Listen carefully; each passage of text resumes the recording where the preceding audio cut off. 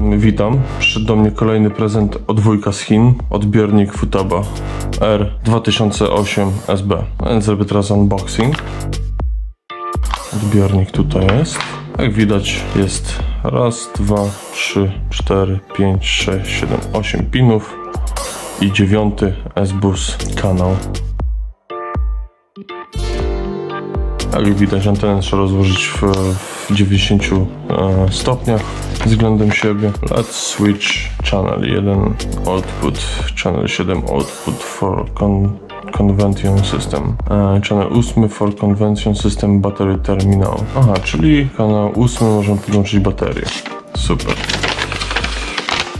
czyli beca tak zwanego. E, nie podłączyć tak, a podłączać w, nie podłączać w poziomie, a podłączać w pionie.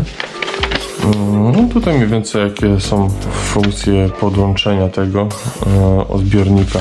A więc tak, no do sedna, nic specjalnego w sumie na unboxingu. Tutaj są rozmiary 9,5 grama, całość waży do 7,4 V od 4,8 a więc tak, co robimy teraz? E, chcę ten odbiornik zamienić z oryginalnego w modelu Traxxas e, K5 Blazer E, który znajduje się tutaj, zaraz wam pokażę jak to tutaj mniej więcej się, o jest tutaj. K5 Blazer. Tutaj oczywiście jeszcze patrzusia z Chin. Dobra, do sedna.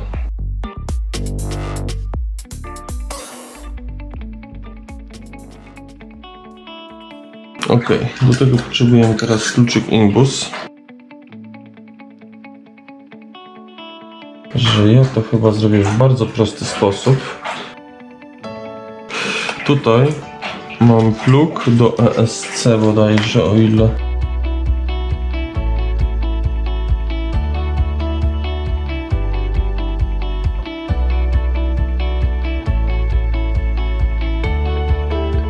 sprawdzając na instrukcję e, zerkając na instrukcję channel 1 output channel 7. Aha. Czyli teoretycznie możemy nawet pod standardowo pod kanał 2 podłączymy. Kanał 2 podpinamy. I teraz tak. Zasilanie mamy. I o to nam chodziło. Odpalamy teraz transmitter. Menu system menu, nie, model menu, select model, oczywiście K5 Blazer włączamy, ponownie się musi uruchomić, ok, menu, I teraz linkage menu, receiver, e, to, że mamy tutaj SFHSS, jest i teraz teoretycznie, z tego co wiem, już się połączył elegancko. Nawet nic nie trzeba było naciskać.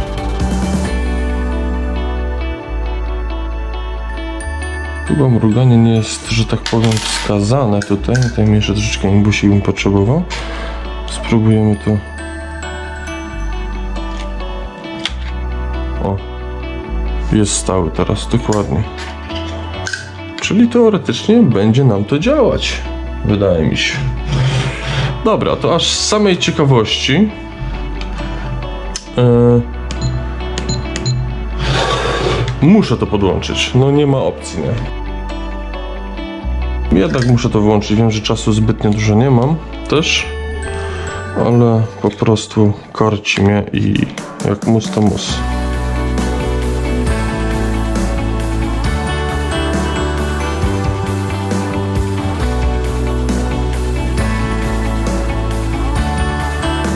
Proszę, jaka rewolucja, jak z mono do stereo. Tutaj jeszcze te wszystkie przewody trzeba wejść.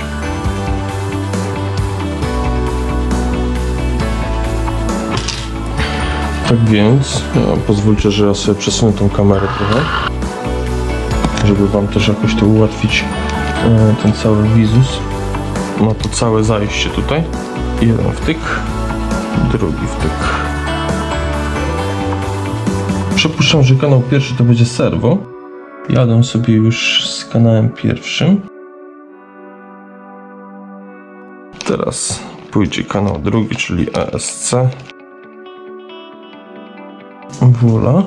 Kanał trzeci. Pod kanałem trzecim już w sumie nie pamiętam co to już co to było podłączone. Przypuszczam, że chyba e, przełożenie skrzyni biegów. Zmiana przełożenia znaczy się w sensie. Kolejny. I tutaj już serwo albo dyfa z przodu, albo dyfa z tyłu. I tu blokady dyferencjały. Ok, tutaj sobie podłączymy. E, To jest zasilanie na światło. Dobra, teraz o co chodzi? Chodzi o to, że chciałbym zobaczyć, czy to działa i mniej więcej to zademonstrować Wam. Sam jestem już ciekaw, także okej.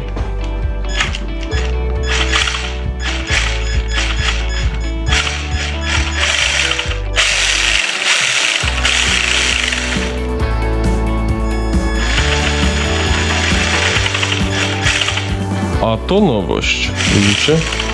Zębatka spadła? Jest. Coś się kurde rozłączyło.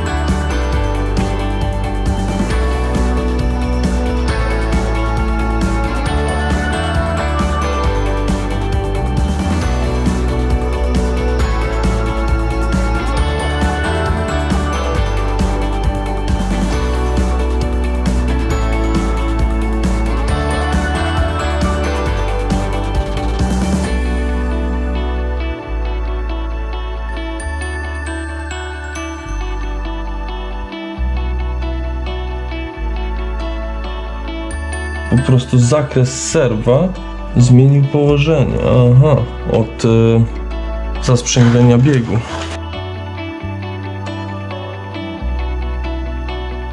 Tak coś mi kurde siedziało na myśli, że kurde, żeby to był silnik, nie uważam. Żeby zębatka spadła. Coś mi tu kurde nie pasowało. No, ta prostota w prostocie jest taka, że po prostu serwo z kanału muszę teraz przepisać kanały, bo teraz nie wiem jak nimi sterować. Także też położenie serwa trzeba em, skorygować. Zobaczymy jak te Chińczyki z Vueltoisa się sprawują. Ciekawe czy to pójdzie. To jest malutki pakiecik, bo 1500 mAh. Włączamy. 5 piknięć.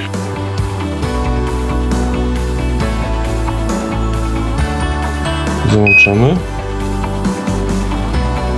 Przechodzimy na e, crawling mode, czyli raz, dwa, trzy,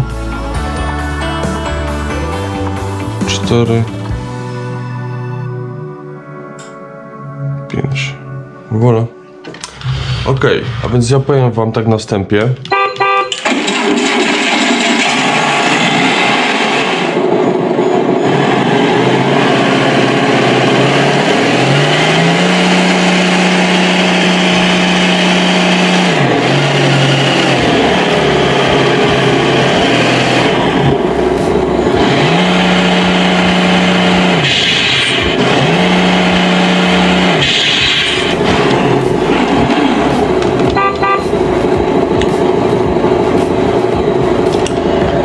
Tak mi to działa.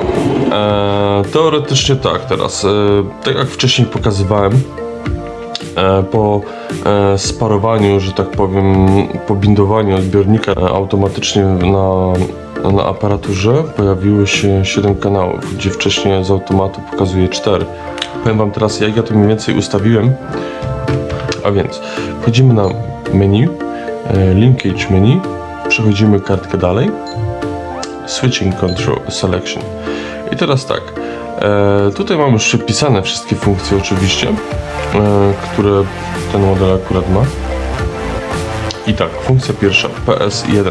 PS1, teoretycznie PS1 przycisk znajduje się w, w, w tutaj. A więc to jest dyferencjał, e, z tego co wiem to jest dyferencjał przód i działa. Dobra, a więc PS1, funkcje wszystko po sparowaniu, wszystko było na off. Widzicie, teraz przycisk nie działa. Ok, tak więc e, wybieramy sobie channel czwór, czwarty i teraz jest taka opcja.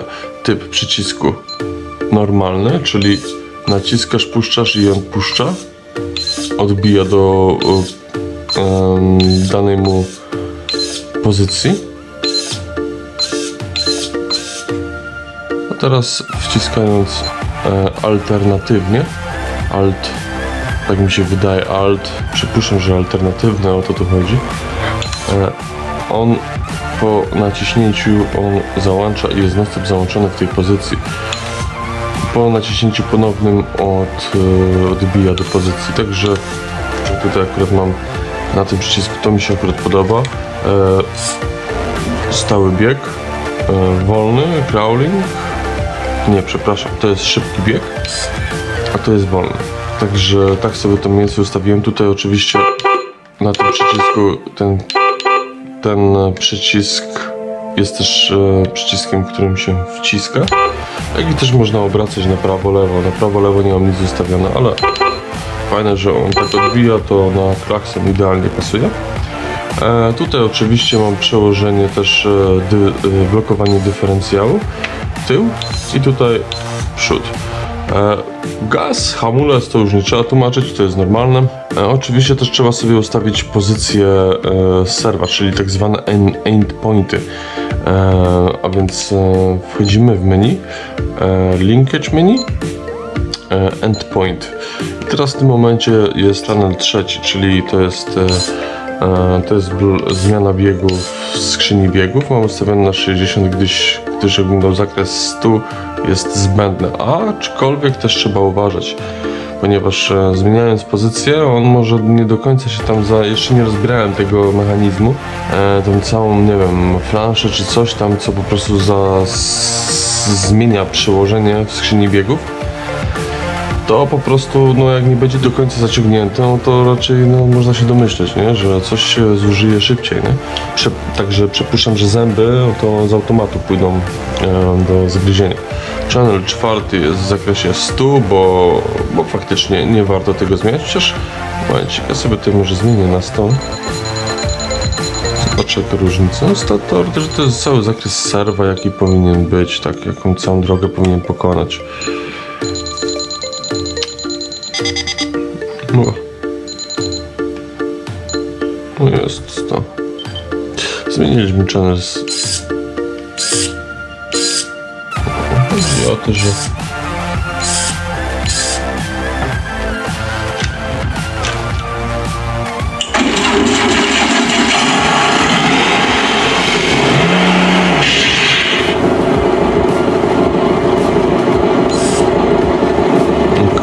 a tą pozycję?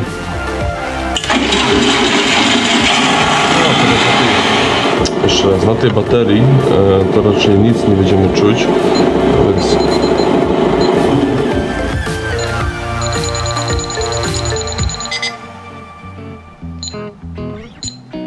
a sobie ustawię na 60, bo wiem, że ja to testowałem i wiem, że e, przełożenie skrzyni biegów niepotrzebny jest zakres to jak serwo jest ustawione tylko 60% w zupełności 60 wystarcza do za, widzicie, jak i też nawet e, nie, nie, nie, nie, ok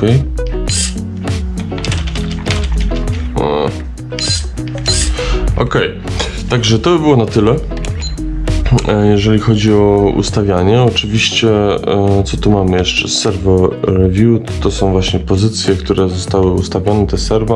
Ok, tak więc dzięki za uwagę. Jak się Wam podobało, łapki w górę, jak źle, to nie podobało Wam się, to łapki w dół. No i subskrypcja oczywiście, jeżeli jesteście zainteresowani jakimiś nowymi filmikami, od razu zostajecie poinformowani.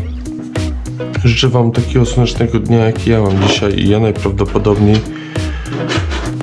ja najprawdopodobniej dzisiaj uderzam na park ze swoim crawlerem. Oczywiście bateryjki trzeba napełnić, pełne Myślę, że redoksy sobie wezmę to co do, na worzie jeżdżę. A to tutaj to jest taki, jakiś niewypał w ogóle. Ale z czego?